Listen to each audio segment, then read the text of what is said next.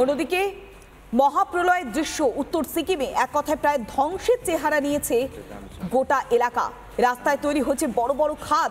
এলাকার অবস্থা এতটাই ভয়াবহ যে বাড়িঘর ছেড়ে অন্যত্র আশ্রয় নিয়েছেন স্থানীয় বাসিন্দারা। উত্তর সিকিমে ধস নেমে গিয়েছে।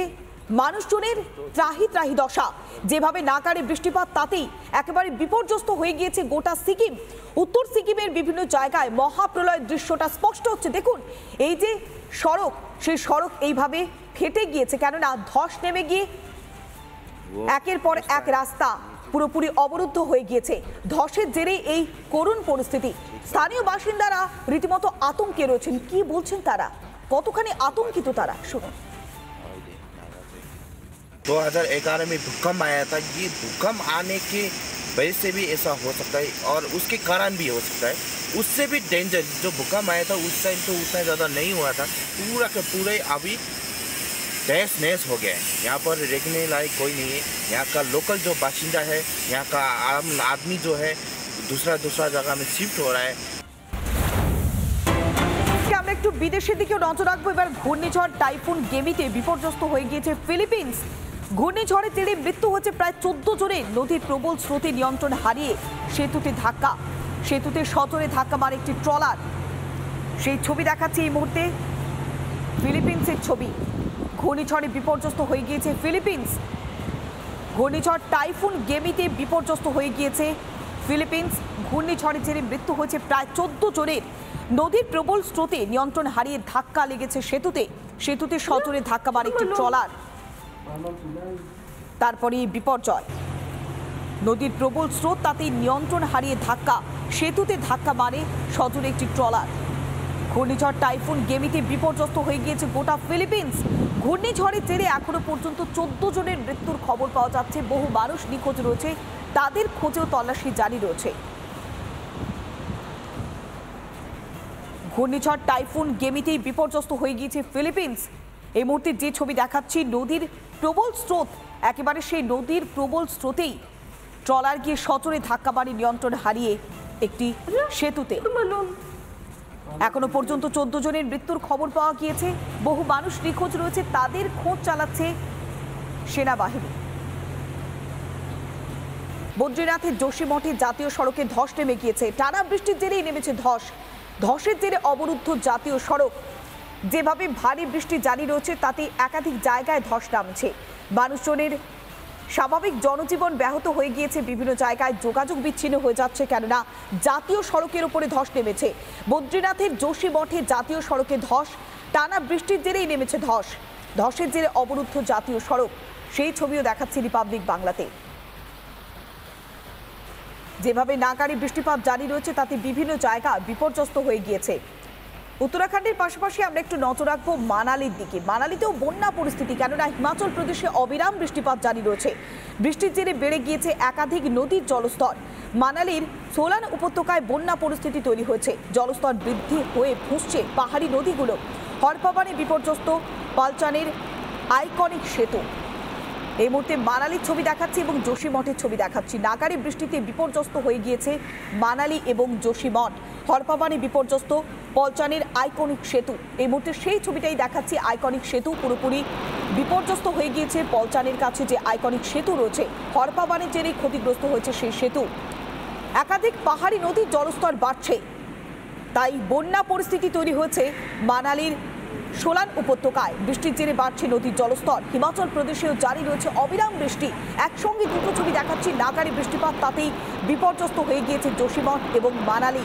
যোশীমঠে জাতীয় সড়কে ধস নেমে গিয়েছে। যোগাযোগ ব্যবস্থা পুরোপুরি ব্যাহত হয়ে গিয়েছে। অন্যদিকে মানালিতেও বন্যা পরিস্থিতি তৈরি হয়েছে। হরপা বাণিজ্যের বিপর্যস্ত আইকনিক সেতু। ভারী বৃষ্টি। ভারী বৃষ্টির জেরে জলমগ্ন মুম্বাইয়ের একাধিক এলাকা।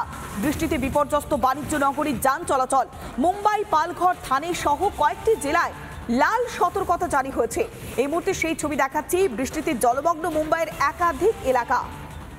ভারী বৃষ্টির জেরে জলমগ্ন মুম্বাই, পালঘর, থানে সহ কয়েকটি জেলায় লাল সতর্কতা জারি করা হয়েছে বৃষ্টিতে বিপর্যস্ত বাণিজ্য নগরীর যান চলাচল। অত্যন্তই ধীর গতিতে চলছে গাড়ি, কেননা জলমগ্ন বিস্তীর্ণ এলাকা। লাগাতার ভারী বৃষ্টি আর সেই ভারী বৃষ্টির জেরেই জলমগ্ন মুম্বাইয়ের একাধিক এলাকা। মুম্বাই, পালঘর থানে সহ কয়েকটি জেলায় জারি করা হয়েছে লাল সতর্কতা। কয়েকদিন ধরে নাগারে বৃষ্টি আর তার জেরেই জলমগ্ন বাণিজ্য নগরীর একাধিক জায়গা। অন্যদিকে পুনের ছবিও দেখাচ্ছে, ভারী বৃষ্টিতে বানভাসী পুনে। জলের তলায় একাধিক রাস্তা, গত চব্বিশ ঘন্টায় মৃত্যু হয়েছে চারজনের। জলমগ্ন এলাকায় নেমেছে এনডিআরএফ, উদ্ধার কাজে নেমেছে এনডিআরএফ। জলমগ্ন একাধিক এলাকা, সত্তর জন বাসিন্দাকে উদ্ধার করা হয়েছে। ভারী বৃষ্টির জেরে বন্ধ রয়েছে স্কুল, কলেজ। ভারী বৃষ্টিতে বানভাসী পুনে। জলের তলায় একাধিক রাস্তা, গত চব্বিশ ঘন্টায় মৃত্যু হয়েছে চারজনের। আমরা আরও বিস্তারিত জানব।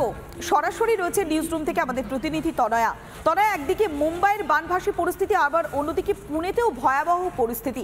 ভারী বৃষ্টির জেরে এখন কি পরিস্থিতি তৈরি হয়েছে?